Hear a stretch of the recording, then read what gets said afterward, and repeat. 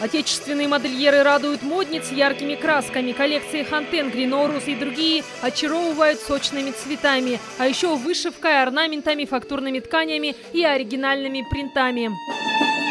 Весной пробуждается не только природа, но и человек. На такой романтичной ноте и состоялось торжественное открытие выставки. Я, по крайней мере, довольно габаритная дама, поэтому, пожалуйста, я с удовольствием. Ну, я пока смотрю, думаю, хороший, хороший выбор.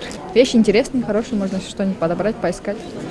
И мне кажется, и качество неплохое, и цены приемлемые тоже. Гульджан Ташкенова предлагает гражданам одежду в национальном колорите. Шьет в основном для внутреннего рынка, но выполняет и заказы иностранцев. Так как используют только натуральные ткани и фурнитуру, спрос на такие вещи всегда высокий. В ассортименте костюмы, платья без рукавки. Для шитья вечерних платьев используем в основном яркие ткани. Для верхней одежды спокойные матовые.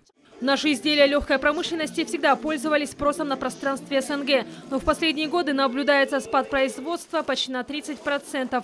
На сектор повлиял экономический кризис и контрафактная продукция под маркой Made in KG. Но предприниматели надеются, что с вхождением в ЕАЭС будут открыты новые возможности. Всегда должно быть так, что выгодно э, производить продукцию на территории Кыргызской республики и экспортировать в другие страны участников ЕС.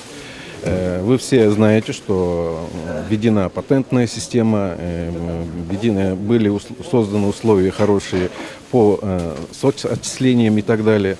Я думаю, эта база, созданная для нас, прослужит именно толчком развития в условиях таможенного союза.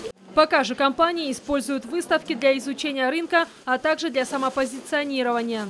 На выставке можно найти вещи на любой цвет и вкус. Свою продукцию представили около 110 компаний из Бишкека, регионов страны Турции, Индии и других республик. В течение пяти дней, если жители смогут обновить свой гардероб к весне, то предприниматели заключить договоры с оптовыми покупателями и торговыми сетями.